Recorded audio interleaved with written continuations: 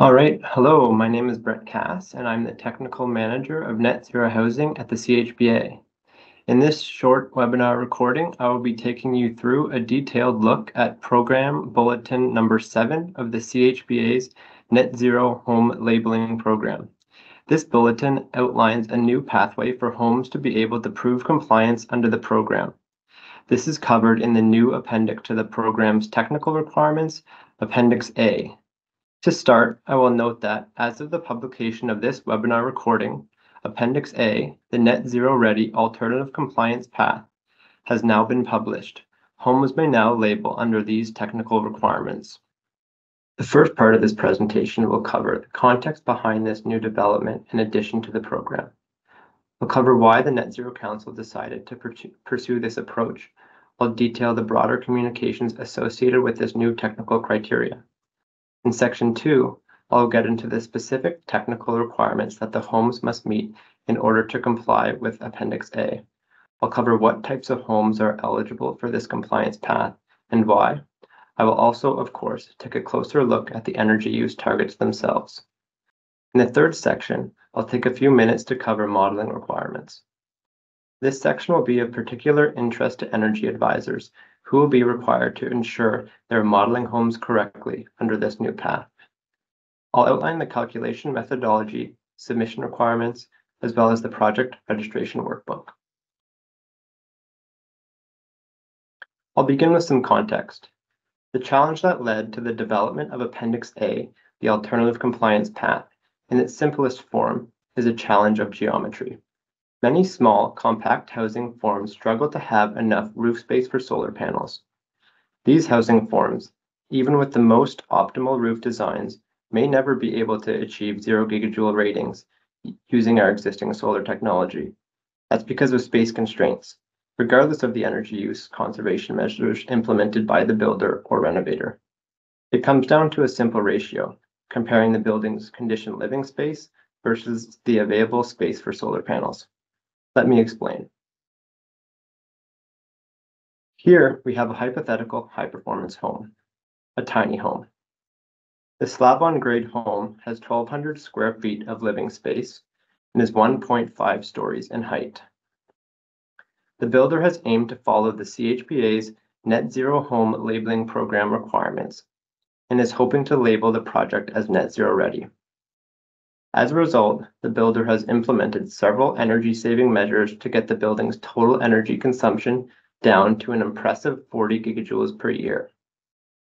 The pie chart shows what the builder has been able to achieve from an energy load standpoint. Now, to achieve net zero ready, this builder has to be able to offset the 40 gigajoules of modeled annual energy consumption with at least 40 gigajoules of solar energy production. To do so, they need a solar array of this size. Unfortunately, they can only fit an array of this size. They can only offset slightly more than half of the home's energy consumption at 23 gigajoules per year of solar energy production potential. One might suggest that the builder should go back to the drawing board and add even more energy-saving measures. Let's say this builder did have thousands of dollars more to spend on even more insulation and even better mechanicals.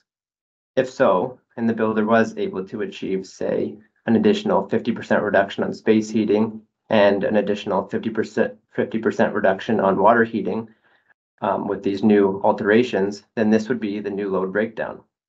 The total energy would drop, but only marginally, to 34.3 gigajoules per year. There would still be a deficit of more than 11 gigajoules to, to make up with generation. It's quite a challenge. This example was actually reasonably favorable for this builder. A sloped, unobstructed, perfectly south-facing roof with no site limitations or shading from other buildings. Now imagine the same energy offset calculations of even denser product with even less favorable ratios for renewable offset potential as pictured here. Consider three-story townhomes, row homes with flat roofs, homes with terrace roofs and balconies, or even the, the lower units of MURBs, and the list goes on. The focus for this project was specifically to develop a non-solar focused path to labeling for housing forms that have the most difficulty doing so. As a result, the Appendix A technical requirements have been written to target three following housing types: attached houses such as row homes and semis, tiny homes and laneway suites, as well as MURBs. The CHBA Net Zero Council recognized that there is a fast-growing market for smaller, compact, often multifamily product types that by nature of their design often struggle to have enough renewable energy generation potential to offset their consumption. The Net Zero Council recognized the current barriers within the Net Zero Home Labeling Program to include these small homes and voted a directive to the Net Zero Technical Committee to develop a proposed solution to labeling these homes as net zero ready. This plan would help to support the industry's voluntary adoption of net zero ready housing for all housing types. That proposed solution was to still be technically rigorous, still be clear and concise, and by its nature, be more inclusive, recognizing the construction of smaller housing forms. The result was a two-page technical requirement document that serves as an appendix to the net zero technical requirements. The document outlines the steps the houses must achieve in order to comply as net zero ready under this new path. Page one of the document covers requirements that the houses must meet in two sections. The first section is application and eligibility, and the second section is the very concise technical requirements. Within this is Table A1. Table A1 forms the basis of this net zero ready alternative compliance path. This is a series of energy use targets that are based on the performance of net zero ready homes. The second page simply covers the calculation methodology used to comply with Table A1. In Section 2, I'm now going to take a deep dive into the two-page Appendix A document and describe its background and how it was developed. I'll also talk about another very important piece, how this new net zero ready alternative compliance path impacts the communication and marketing of CHBA's net zero ready tier. To begin, Application and eligibility. In order to effectively develop a fair eligibility criteria, there needed to be a cap on the size of homes that the energy use targets could be used for. Detached houses must not exceed 450 meters cubed. Attached houses and MURB single units must not exceed 600 meters cubed. These targets represent the upper end in terms of volume of the housing forms that were being targeted for inclusion into the program. The cap values selected were based on the data set of 1,250 net zero and net zero ready homes submitted through the program at the time of this development. Now, it is recognized that with any hard line threshold, there will be projects that are ineligible, but just marginally, potentially based on a few meters cubed. The maximum heated volume cutoffs decided for use in Appendix A may exclude projects that slightly exceed their respective house volumes of 600 meters and 450 meters cubed. Because of this, a level of flexibility has been introduced through the request for inclusion process. Builders of projects that exceed the heated volume threshold may submit a request for inclusion to be reviewed by the Net Zero Technical Committee to potentially be voted for uh, inclusion. The Net Zero Technical Committee will have a percentage-based process and criteria directing how they should consider their voting. This will allow the committee to, at the very least, review projects that otherwise would have no avenue for labeling. Now we'll look at the technical requirements section of Appendix A. Remember that this technical requirements section serves in addition to that of the full Net Zero technical requirements document.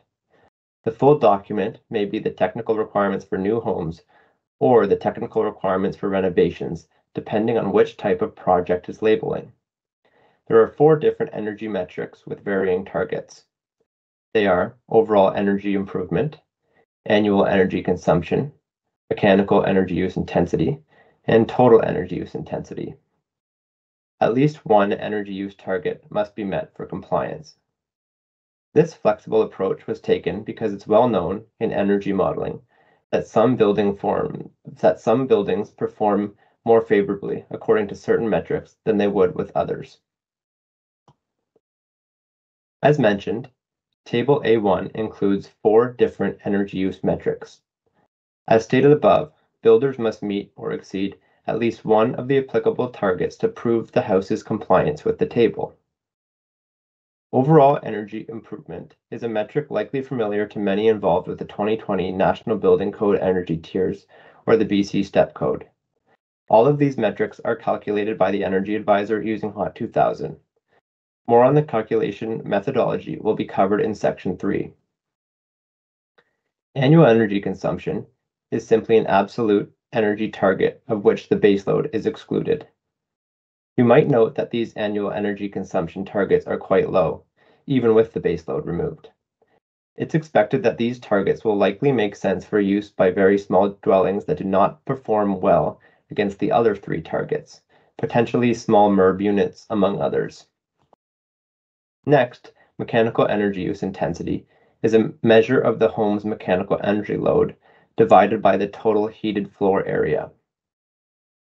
Similarly, total energy use intensity considers the home's total annual energy consumption divided by the total heated floor area. There are two variables indicated in Table 1 on the left, climate zone and heated volume. To improve the fairness of the targets, there are varying targets dependent on the two size categories and four climate zones. For example, homes built in climate zone 4 would have the following targets. If that home was very small, less than 300 meters cubed, the specific targets would be here. Whereas if that home was greater than or equal to 300 meters cubed, these would be the targets. Keep in mind that the table caps out at 450 meters cubed for detached homes and 600 meters cubed for attached homes in MURBs, as described in the application and eligibility section. A question that likely a question that likely comes to mind with regard to table A1 is how are the energy use targets decided upon? And the answer is data. An analysis of the data from the 1250 net zero and net zero ready homes that had been labeled in the CHBA program at the time of the analysis. This scatter chart on the screen uses dots to represent each of these 1250 homes. The chart compares the home's heated volume to the amount of total energy the home is modeled to consume annually. It's no surprise there's a strong correlation here, but our focus was specifically on smaller compact housing types for this project, so we looked particularly at this group of homes here, and we tested them against a variety of energy performance metrics. As you know, we settled on four energy metrics to keep in the table. Here's a quick look at a portion of the dataset that was reviewed closely to make decisions on where to set each target.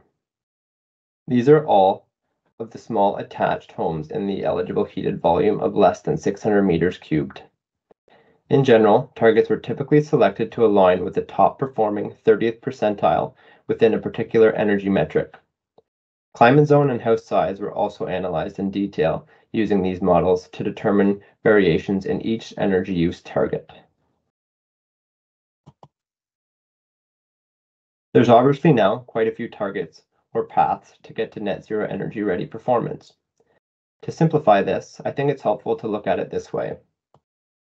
We now essentially have four energy efficiency targets that any given home can attempt to meet, or an energy generation offset potential target of 0 gigajoules, which was initially our only target. Achieving any of these five targets provides the same CHBA Net Zero Ready label. On the communication side, that means the same comfort, same energy efficiency, same better indoor air quality, etc. Let's look at how this new path impacts the communication and marketing in the Net Zero Home Labeling program. To be clear, we've maintained this program as a two-tier labeling program. The alternative compliance path only applies to Net Zero Ready. Regardless of how the home achieves either label, the brand promise remains the exact same, the ultimate in comfort and efficiency. In either labeling path, homes still maintain the same value proposition that buyers want when they decide on a CHBA net zero or net zero ready home. the values of better indoor air quality, reducing one's environmental impact, reducing utility costs with the assurance of a third-party qualified label are all maintained with the alternative compliance path. Now, the definition of net zero ready has been expanded to consider this new alternative compliance path. CHBA qualified net zero ready homes are built to the exact same efficiency requirements as net zero homes, but do not yet have renewable energy systems such as solar electric panels installed. Net zero ready homes that have sufficient on-site generation ability have been designed and constructed to easily install renewable energy systems in the future whenever the homeowner is ready. Essentially, the second sentence means that some net zero ready homes have been designed to install renewable energy tomorrow, and others, such as those using the alternative compliance path, may not have the means tomorrow, but in the future, renewable energy may be provided to these homes via more efficient renewables, green energy credits, or even a renewable energy source grid. For today, the qualified net zero builder or renovator has done their part to ensure a super low energy, comfortable, healthy, net zero ready home for the occupant.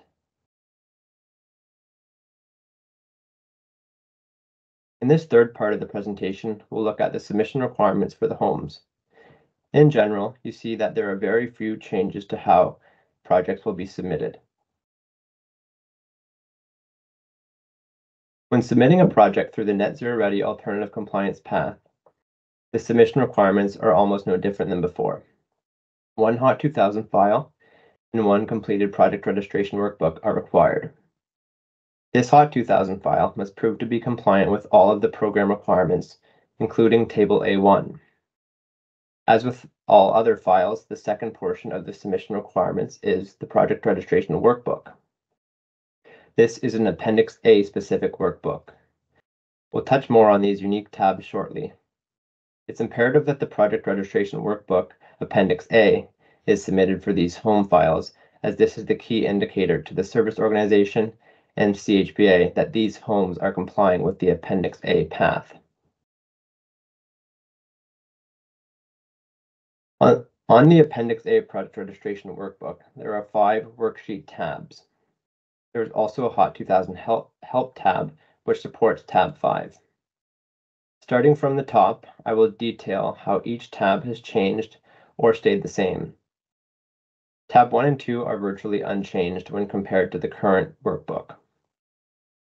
Tab 1 does have some minor text edits to reflect the fact that this workbook is now exclusively for net zero ready homes. For that reason, these changes do not need to be detailed in this recording. Tab 3, the verification checklist, also has some minor edits. The exempt sections have been removed from the checklist, sections 1.2.1, 2.2.4, and 2.4. There also has been a short Appendix A section added to the end of the checklist. We will look at tab 3 in more detail on the next slide. You'll notice that there are no solar PV ready checklists or commissioning reports in the Appendix A workbook. This is because on-site solar generation capacity is not a requirement under this path. Tab 4 is the indoor air quality checklist this checklist remains the exact same. Tab 5 is entirely new, the Energy Use Targets tab.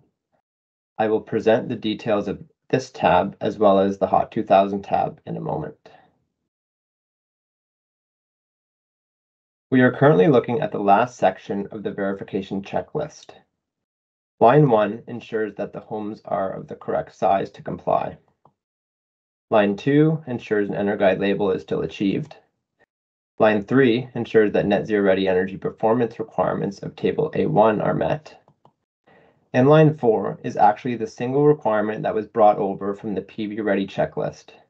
It states, where applicable, such as when solar PV may be installed in the future, roof structure design and uh, designed and constructed with solar ready trusses or equivalent and roof structure design will support additional loads of at least 0.17 kilopascals or 3.5 pounds per square foot associated with PV system.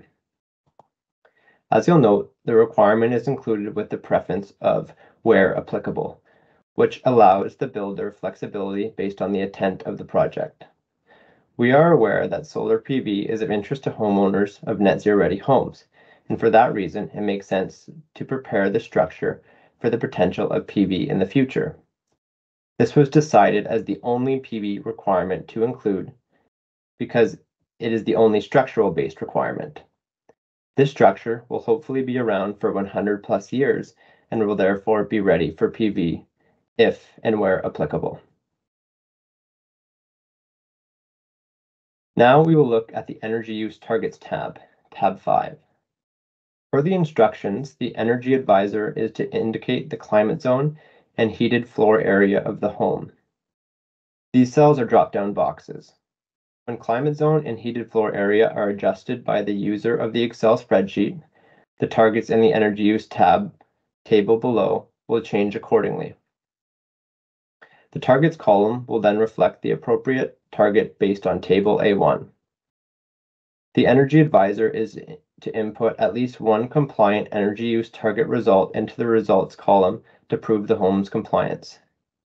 These results can be pulled directly from HOT 2000 as described in the HOT 2000 Help tab. These results should be rounded based on the criteria outlined in page 2 of Appendix A, which align with how HOT 2000 outputs are rounded. The HOT 2000 Help screen simply shows users how and where to collect each of the energy use metrics results. First, when modeling the proposed home in HOT 2000, Energy advisors should ensure that the file is in version 11.12 or newer and that the rule set is set to EnerGuide Rating System 2020 NBC. Once you go to the Calculate screen of your HOT 2000 file, you'll be able to see the following results. Total energy use intensity can be found on the Base tab screen.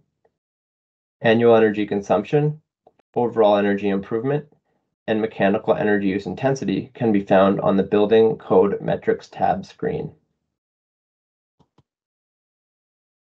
Those results, or at the very least one of them, would then be inputted by the Energy Advisor into the results column on the energy use targets table within the project registration workbook in order to prove compliance.